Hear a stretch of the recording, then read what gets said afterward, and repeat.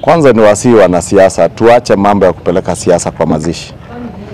La pia ni uh, condemn mambo ambayo tuliona jana yakitokea huko Limuru, na niwaulize wale wanasiasa wanaotumia siasa za upuzi, sababu hizo ni siasa za upuzi, kwenda kupeleka siasa kwa mazishi, kutojali wale ambao wamefiwa na familia yao, sababu watu wanataka kwenda uh, kujitafutia yao wenyewe. Kwa hivyo niwaulize wote kwa heshima, waheshimu kwanza familia zilizofiwa.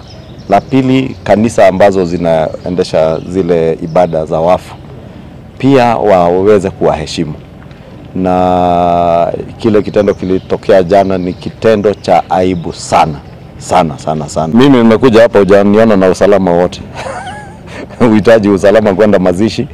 E, jambo la kufanya ni tuwe wangwana na tuheshimu familia zilizofiwa, tuheshimu kanisa, tuheshimu wananchi. Zile siasa wanataka kufanya za kujitafutia ile tunaita kwa lugha ya kimombo sympathy, pia wasiende kutafuta kwa mazishi ya, watu ama kwa makanisa.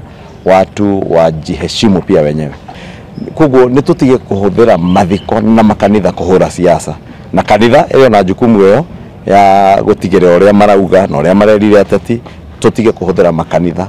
Na muno makire ni gĩko gia thoni muno ati gukorwo nginya mathiko-inĩ ma andu makuĩrĩirwo.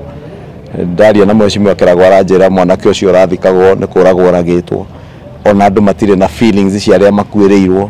Murigo uria menaguo ta family nĩ maundu maria mamakorete. Andu marenda guthii guthondeka siasa gwĩcarĩria sympathy na no tukumithie giko kiu gia thoni muno muno muno muno mũno